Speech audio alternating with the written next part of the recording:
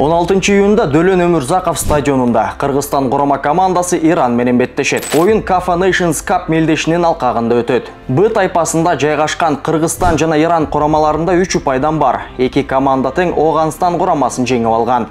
Ак шумкарлар оогандыктарды 1-0 эсебинде уткан. Бирок атаандаш оюнду аягына чейин улантпагандыгы үчүн техникалык жеңилүү ыйгарылган. Ал эми Иран ошол эле атаандашты 6-1 эсебинде ташталканын чыгарды.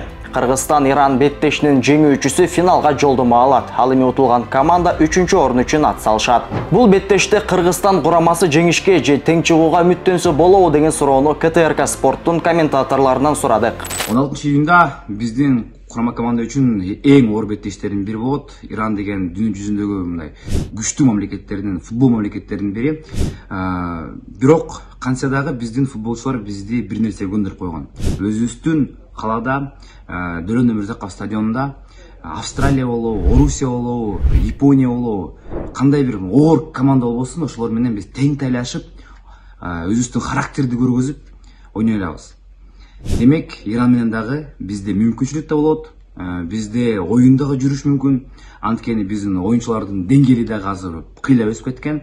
Анан жаңы үчүн штефан таркович үчүн бул дагы чоң сыноо бирок чоң мүмкүнчүлүк балким эгерде иран менен жакшы беттеш көргөзүп балким утуп алсак элдин ишеними дагы ал адиске дагы көбөйөт биз ишенели ишенгендер биз менен болуңуздар стадионго барып колдойлу бара албагандар ктрк спорт телеканалынан түз эфирден көрүңүздөр бул курамада дүйнөлүк жылдыздар ойнойт ошолордун катарында мисалы мехди тареми быйыл португалия чемпионатында мыкты бомбардир болду алириза жаханбакш фейонорд менен голландия чемпионатын жеңип алды.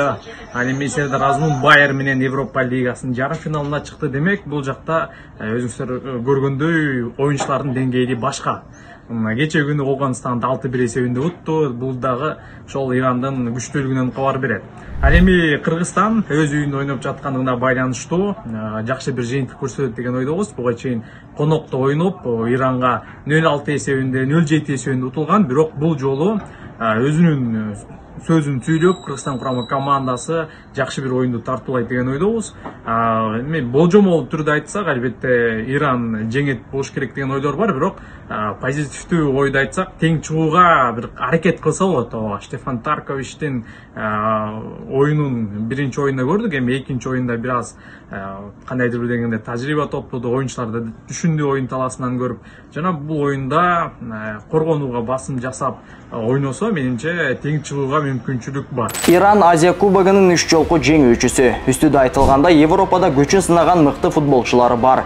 Жана ошондой эле иран курамасы туруктуулук менен дүйнө чемпионатына катышып келет ал эми кыргызстан курамасы атаандаш сыяктуу чоң ийгиликтери менен мактана албайт эгемен тарыхыбызда 2019 жылы алгачкы жолу азия кубогуна жолдомо алып плей оффко чейин барган бул беттеште ак шумкарлар аутсайдер. Бирок атаандаштын статусу канчалык бийик болбосун топ тоголок дегенди унутпайлы жана кыргызстан улуттук курама командасынан татыктуу оюн күтөбүз